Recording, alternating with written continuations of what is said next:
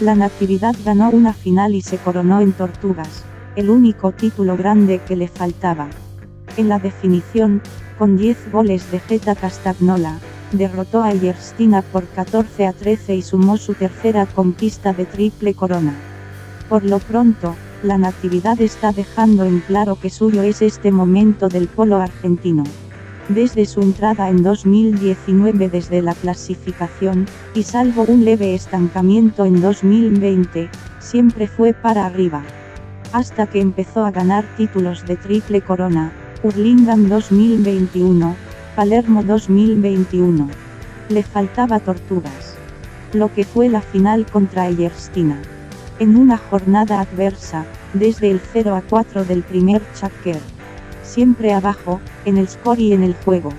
Hasta el final del sexto y penúltimo parcial, como para no solo pelear el partido y para tener un cierre digno. Jugar rápido y vistoso y ganar todo.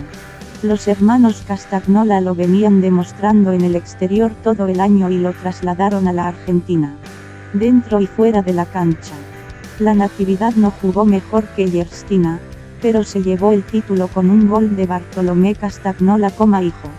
En el minuto final para el 14 a 13 decisivo, en una jugada en la que el perdedor no pudo salir de sus 40 yardas en una acción disputada. Fue una definición electrizante, ante una gran cantidad de público, bajo la lluvia y en un día frío y muy ventoso, lo que complicó a ambos equipos para atacar sobre el arco contrario. En la cabeza radica mucho de la explicación de este título de la Natividad. Por no rendirse, por no desordenarse ni en los peores momentos.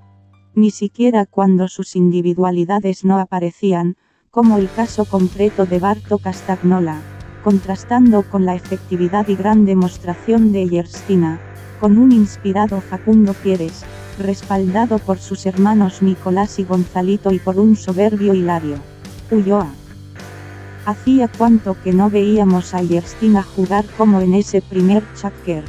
Y con Facu Pieres haciendo un descalabro defensivo en el adversario, metiéndose en la zona media para atacar con fuerza y bocha dominada.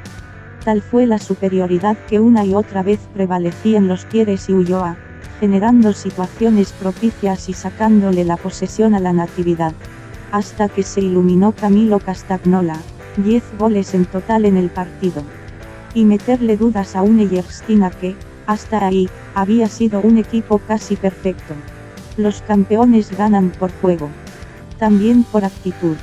Hace unos días, luego de ganarle la semifinal a la Dolfina, uno de los comentarios era qué sucedería con la Natividad si lograba el título en Tortugas.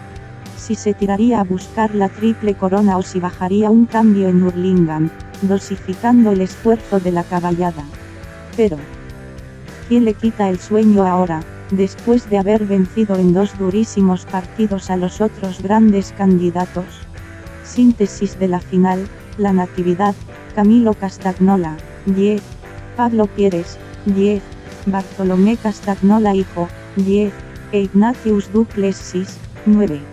Total, 39. Eyerstina, Facundo Pieres, 10, Hilario Ulloa, 9, Gonzalo Pieres hijo, 9, y Nicolás Pieres, 10. Total, 38. Progresión, la natividad, 0 a 4, 3 a 5, 4 a 6, 6 a 9, 8 a 11, 12 a 12 y 14 a 13.